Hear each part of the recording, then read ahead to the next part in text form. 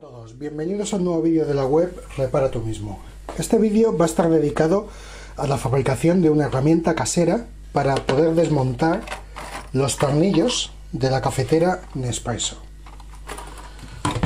Como ya os indiqué o os mostré en un vídeo anterior, cómo se podía realizar una herramienta casera, los tornillos de la cafetera Nespresso son una especie de remaches que lleva en los laterales de la tapa y inicialmente no hay a la venta este tipo de herramienta para poder desmontarlos ya que como digo la apariencia del tornillo es la de un remache.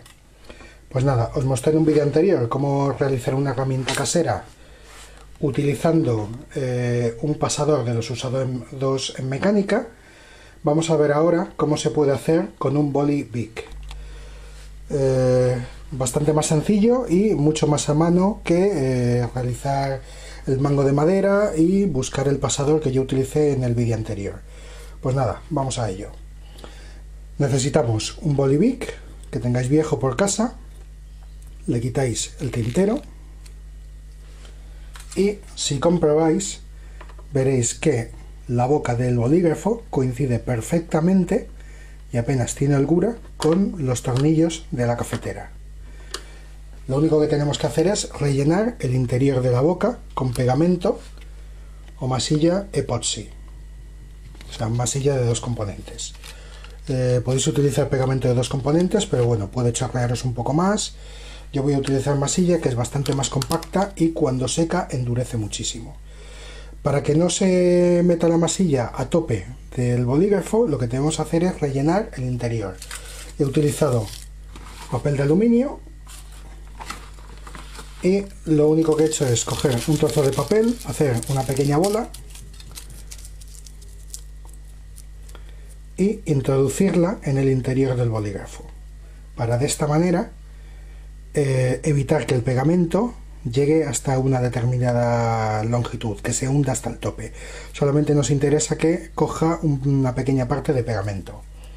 Ya tengo preparadas unas bolitas por aquí, vamos a introducirlas que queden lo más justas posible y para ayudarnos utilizaremos como herramienta un tornillo del mismo calibre que la boca del bolígrafo.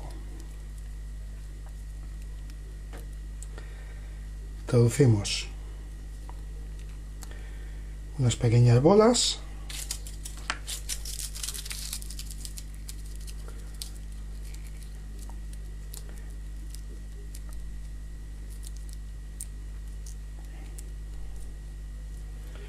iremos introduciendo unos trozos y poco a poco rellenaremos la parte eh, superior del bolígrafo. Voy rellenando y ahora continuamos el vídeo. Ya he rellenado toda la parte superior del bolígrafo, quedando compactado el papel de aluminio. Eh, no es imprescindible que utilicéis papel de aluminio, podéis utilizar plástico, papel o otra cosa. El caso es que toda la parte superior nos quede compactada. Lo he compactado con ayuda del tornillo que he comentado antes y ahora vamos a aplicar el pegamento. Para aplicar el pegamento con la masilla, la misma viene en una barra de dos componentes y lo que realizaremos será un pequeño corte para eh, usar un trozo de barra la cantidad que necesitemos.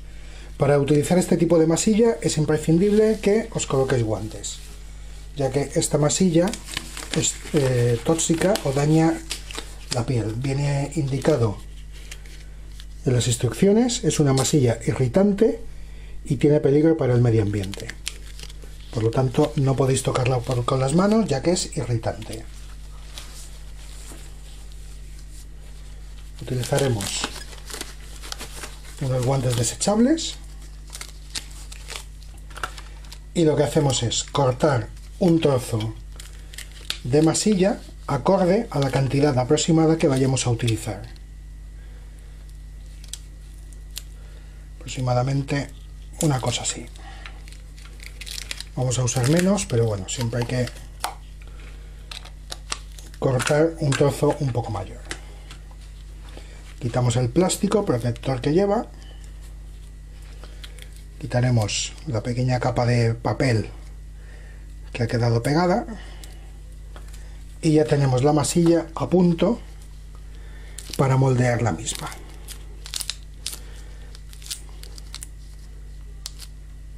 iremos moldeando, sacamos los trozos de plástico que han podido quedar pegados y con paciencia vamos moldeando la masilla hasta que la misma quede homogénea. Voy moldeándola y ahora continuamos con el vídeo. Ya está la masilla moldeada. Notaréis que según la habéis ido moldeando, la misma ha perdido dureza, ha quedado muchísimo más blanda, más pegajosa y al mismo tiempo la misma se va calentando ligeramente ya que va fraguando los dos componentes de, de la misma, los dos reactivos que tiene. Recortaremos un pequeño trocito y la iremos introduciendo con paciencia en el, en el canutillo del bolígrafo para rellenar toda la parte inferior.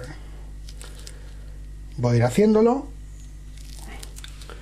y ahora continuamos con la visión del vídeo. Más que nada para no eh, alargar el mismo mientras voy compactando la masilla. Se compacta con el tornillo la masilla todo lo que sea posible. Acabaremos de rellenar el hueco que tenemos y procederemos a tomar la medida del tornillo. Tiempo de modelado de la masilla es de unos minutos, ahora está empezando ya a endurecer, por lo tanto he de darme prisa.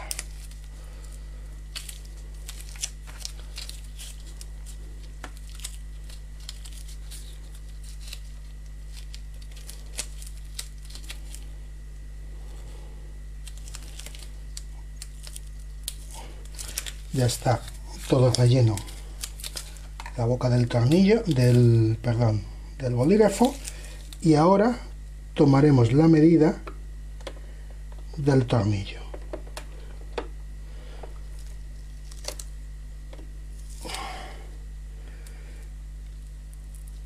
He tomado la medida el pegamento ha quedado en los laterales del bolígrafo y inicialmente ya está finalizado nuestra herramienta casera para quitar los tornillos de la cafetera en expreso.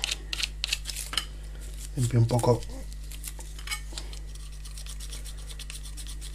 la parte exterior del bolígrafo para que no quede manchado de masilla epoxi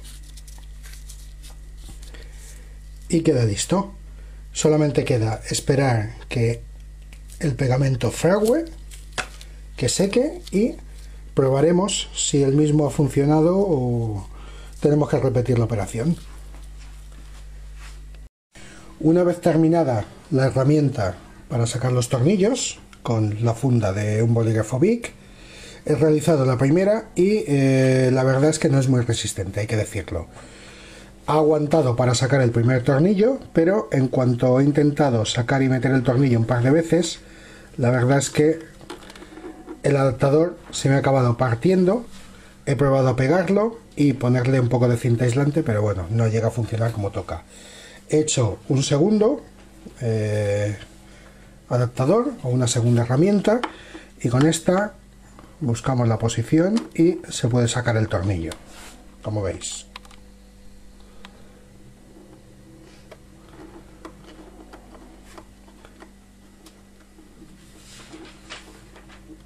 Ya que estaba, he hecho un par de pruebas utilizando, por ejemplo, un trozo de tubo de un octavo de los utilizados en refrigeración, en aire acondicionado, y eh, lo que he descubierto con él para poderlo hacer funcionar, ya que no me acabado de funcionar bien, es que hay que chafarle ligeramente los dos laterales. Chafándolos un poco, también conseguimos que se adapte al tornillo que tenemos que sacar. Hay que recordar que estos tornillos la verdad es que no los aprietan excesivamente fuerte, por lo tanto, si son los originales de la cafetera de fábrica, pues se pueden llegar a sacar los mismos. Como veis, podemos sacar el tornillo tal como he sacado con el, el canudillo de bolígrafo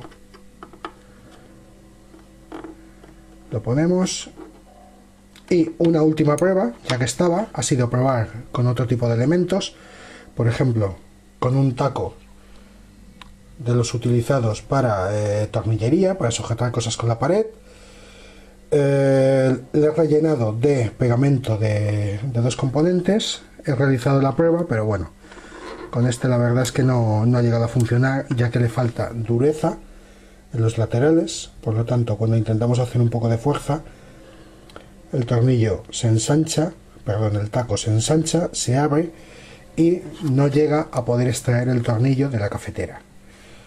Son diferentes métodos que podemos utilizar para extraer los tornillos y bueno, queda este, que es el que ya os presenté en un vídeo anterior, que es la herramienta para extraer los, tornillos, que de todos los métodos que he probado, pues la verdad es que es el más elaborado o el que tiene mayor éxito comparado con el tema del canuto de bolígrafo Bic.